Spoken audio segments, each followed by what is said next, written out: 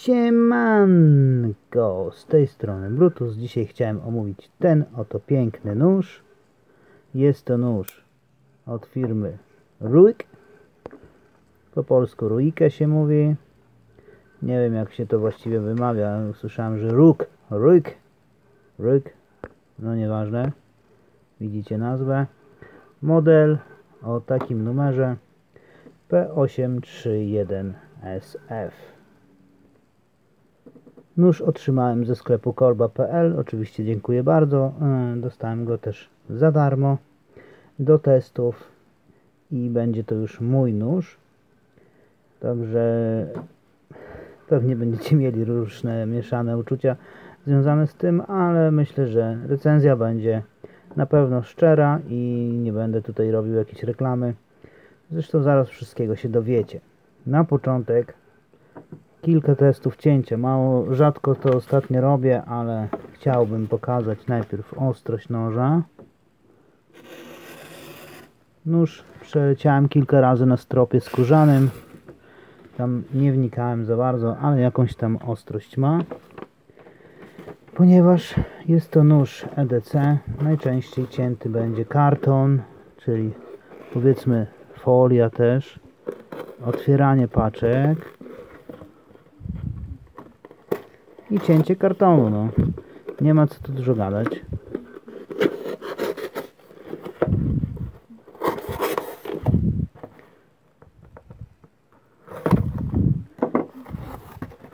Agresję cięcia ma bardzo fajną, ponieważ to jest szlif pełen płaski.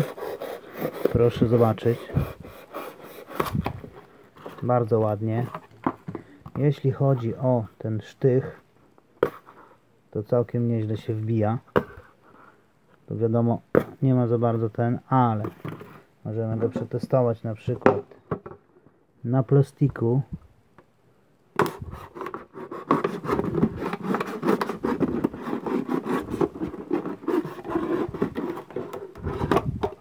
Naprawdę świetnie tnie, muszę Wam powiedzieć. Bardzo się zdziwiłem. Tutaj sobie wyrównamy i mamy kubeczek, prawda? Innego typu cięcia. Może nie tak, może tak. Zobaczmy. Prawie przeszło do końca. Czyli takie cięcia też dla tego noża to nie jest żaden problem. Popatrzmy sobie jeszcze na karton pod kątem.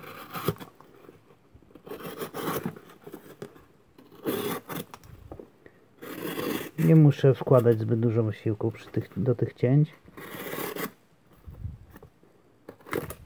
Wow. Naprawdę świetnie tnie.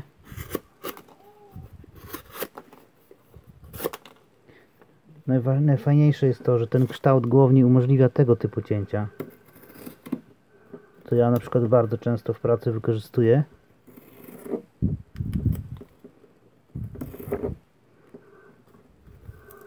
Prawda? Ponieważ ten kształt głowni to jest tak jakby powiedzmy Warncliffe. Dzięki temu łatwo jest dokonywać tych cięć, ale nie tylko. Bo oczywiście w pracy też często sobie robię kanapki. Więc proszę zobaczyć jak się tnie pomidora.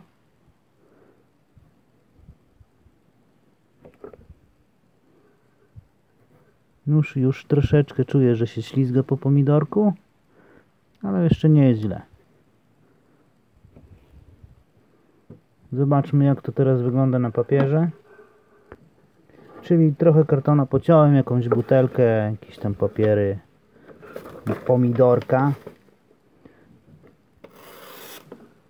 Czyli w tym miejscu, gdzie było cięcie naj, najbardziej mocne, troszeczkę się chyba stępił. Tak, bo w tej, tej części krawędzi tnącej najbardziej używałem. Albo po prostu papier, zaraz zobaczę jeszcze. Spróbujmy w ten sposób. No właśnie.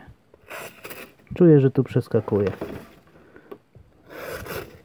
W tym jednym miejscu łatwo to naprawić, wiadomo. Wystarczy wziąć strop. Raz, dwa, trzy, cztery, pięć, sześć, siedem. 8, 9, 10 i już nożyk powinien być ostry. I jest ostry. Jak widać. Chwileczkę i złapał od razu ostrość z powrotem. No i przechodzimy do konkretnego już omówienia.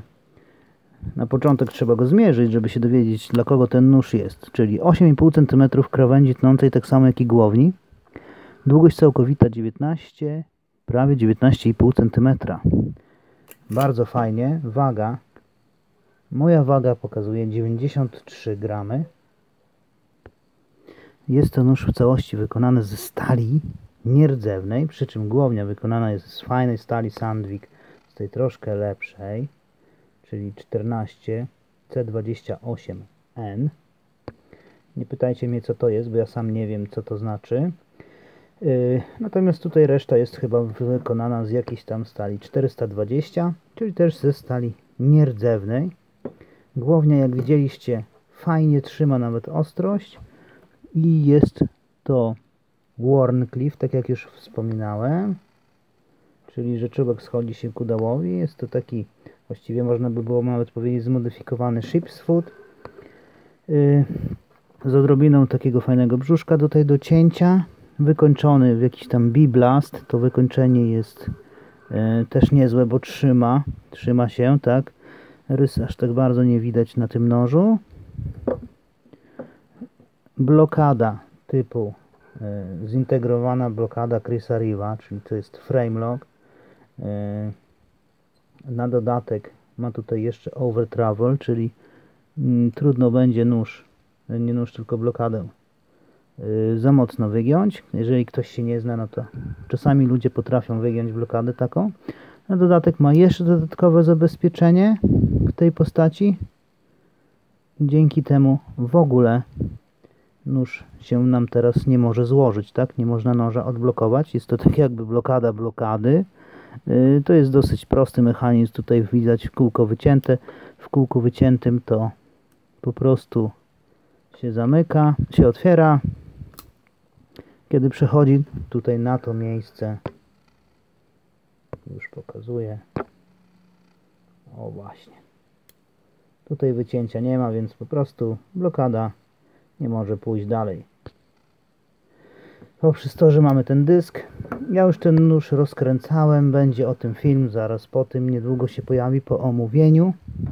Ergonomia tego noża, przechodzimy już do ergonomii, a co tam rękojeści trochę pomówiliśmy. Ergonomia jest yy, powiedzmy przyzwoita, o, to będzie dobrze powiedziane, bo zobaczcie jak fajnie designersko ma taką linię tutaj. Dzięki temu bardzo, yy, bardzo ładnie, estetycznie wygląda. Na dodatek ma powycinane tutaj te rzeczy, tej rękojeści. Takie stopniowanie jest, czy też nie wiem jakby to nazwać inaczej. E, schodkowanie. Czyli schodkowanie w tę stronę, schodkowanie w tę stronę. Fajnie to wygląda, estetycznie, bardzo ładnie. Naprawdę, efekt świetny, wow, ale no troszeczkę niewygodny jest w trzymaniu, ale naprawdę troszeczkę. Po prostu nie jest to nóż przeznaczony do mocnych, ciężkich prac i powiedzmy to od razu, prawda? Nie, nie oszukujmy się, nie jest to nóż do jakiegoś tam, mm, nie wiem, strugania patyków. Można oczywiście zastrugać patyk, ale raczej nie jest to nóż przeznaczony do tego. Posiada, zobaczcie, otwór na linkę, więc do, dosyć fajnie jest. Dosyć taki hojny, można na jeden zaplątać, można na dwa zaplątać.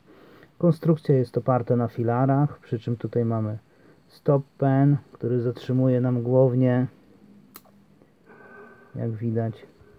I tutaj filary skręcone za pomocą tych trzech śrub, czyli dwie tutaj i za pomocą pivota. Pivot też ma zabezpieczenie przez rozkręcaniu się, więc w porządku. Teraz porozmawiamy sobie o niestety o klipsie. Klips jest ładny. To jest kolejna rzecz w tym nożu. Wszystko w tym nożu jest właściwie ładne, przemyślane, designersko oczywiście przemyślane, lecz troszkę niezbyt ergonomiczny jest ten klips. Więc włożenie go w grubsze spodnie no, jest uciążliwe, że tak się wyrażę. Tutaj mam przykład takich spodni właśnie, gdzie są fajnie uszyte kieszonki. Mamy tutaj podwójny materiał, natomiast tutaj jest powiedzmy, że poczwórny. No nie wiem, jest bardzo, bardzo gruby.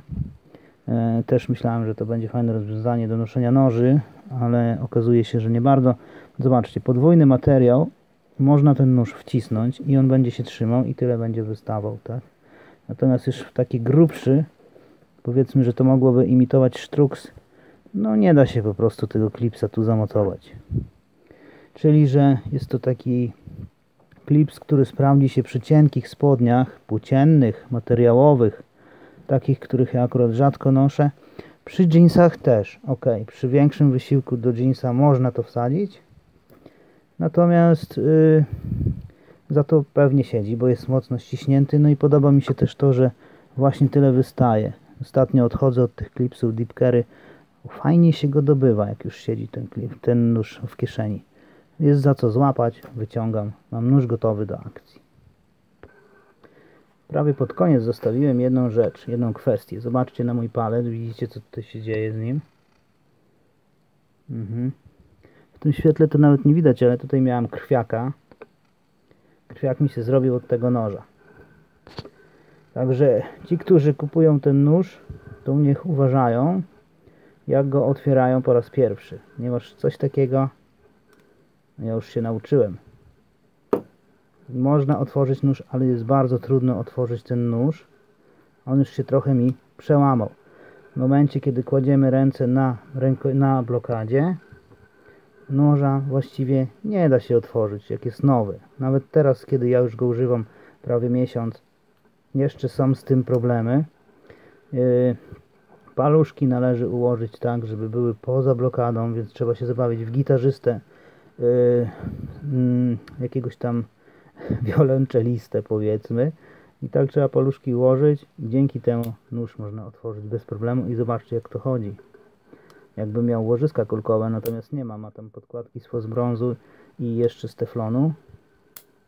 I zobaczcie jaka akcja. Jak on głaciutko chodzi, tak jest.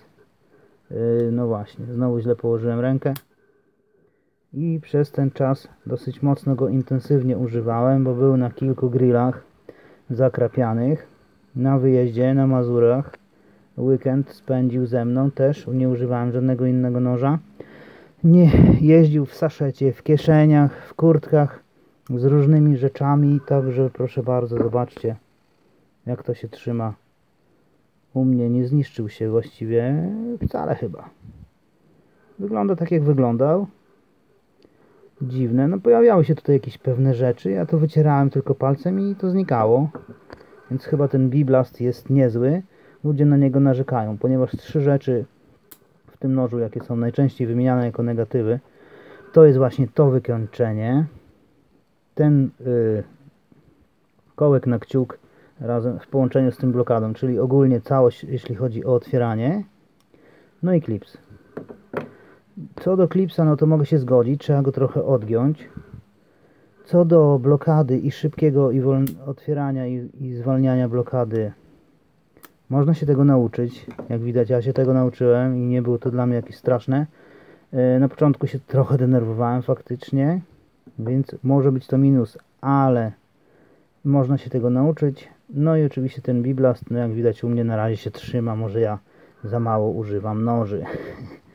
Natomiast na plus, no to mamy tutaj bardzo dużo, tak jak widać ta stal mm, jest niezła, nieźle trzyma ostrość, na pewno jest super, jeśli chodzi o e, odnośnie, jak to się mówi, rdzewienia, a raczej jego braku, bo jest to stal, która wolniej będzie rdzewieć niż pozostałe, a to jest też ważne, przynajmniej w moim przypadku. Świetny kształt, płaski, pełen płaski szlif, elegancki wygląd, dosyć niska waga, fajne niebieskie wstawki. No i należy wspomnieć, że producentem jest firma Phoenix, ta, która produkuje różnego rodzaju latarki. Ja mam tutaj jakąś taką latarkę, także nawet mi się ładnie sparowały, prawda? Fajny EDC, jeszcze do tego jakiś srebrny zegarek i można powiedzieć, że mamy fajne EDC, którego się człowiek nie powstydzi. Jeszcze jakieś tylko porównanie do innych noży. Tutaj mamy Victorinoxa Pioniera. Benchmade 940 Osborne. Hmm, mo- może tak. Paramilitary dwójkę. Fajnie razem wyglądają, prawda? Ten nóż jednak ma coś w sobie i tak widać, że coś tam sobą reprezentuje. Cold Steel Code 4. No przy tym to akurat ten nóż wygląda powiedzmy słabo.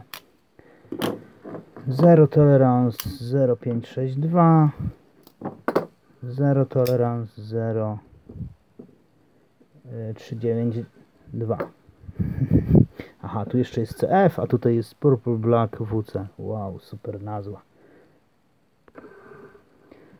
No i w końcu dochodzimy do tego, dla kogo ten nóż jest i do czego ten nóż jest. No w moim mniemaniu jest to nóż przede wszystkim EDC. Może być to też nóż typu Gentleman's Folder, którego zabieramy gdzieś na imprezy okolicznościowe. Na pewno ludzie, którzy go zobaczą, e, będą mówili, że wow, fajny nożyk masz przy sobie, prawda? Jest on cienki, jest dosyć lekki, fajnie tnie i ma wystarczająco dużo głowni. To też dosyć ważne. Yy, więc można go też zabrać na wyjazd. Ja go zabierałem, chociaż wiadomo, że z pełnych stalowych noży się nie zabiera. Lepiej zabrać jakiś z elementami plastikowymi, czy tam G10. Jeśli chodzi o rękojeść, mm, kolekcjonerski to, to chyba nie. Natomiast świetny nóż na prezent, jeżeli macie kumple jakiegoś złożyć się po trzy dychy w pięciu, bo tyle kosztuje 150 zł ten nóż.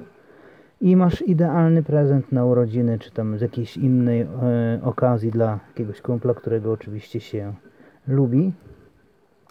Czy są jeszcze jakieś inne kategorie? Na pewno są, no ale on w tak na przykład w kategorii taktyczna, czy tam samoobrona. O, sorry, przywaliłem statyw. To raczej do, ty, do tych kategorii bym go nie zaliczył. Natomiast jest to taki utility, EDC, Gentleman's Folder. No, naprawdę.